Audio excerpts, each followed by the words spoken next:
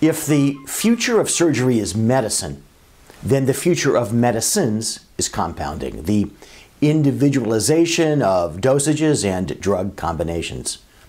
Back in 2015, the FDA approved the very first 3D printed drug product. It was called Spritam, developed by Aprecia Pharmaceuticals. The layering process of 3D printing allows the manufacturer to tightly package active ingredients in very precise dosages. A far more complex use of that same technology is certainly not very far behind one that will open the door to mechanized compounding of drugs at patient by patient, individualized dosages, a customized 3D printed pill for Mr. Smith, and a very different one for Ms. Jones.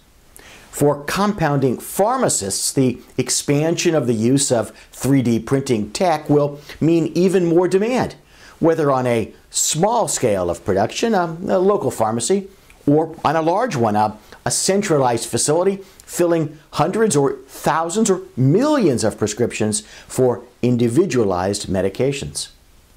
At the small scale end of this continuum, the move from large scale drug manufacturing to individualized drug compounding via 3D printing is the equivalent of the morphing of the multi million dollar printing press into the laser printer or the, the inkjet in your home office. It's the dematerialization and the democratization of drug manufacturing. For physicians in states that either allow them to own interests in pharmacies or to dispense pharmaceuticals from their office practices, the technology opens new doors to patient care and new doors to profit.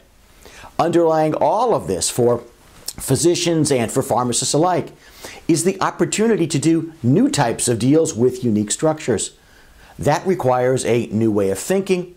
It also requires careful compliance with a host of regulatory issues from the federal anti-kickback statute to Stark to federal Food, Drug, and Cosmetic Act issues.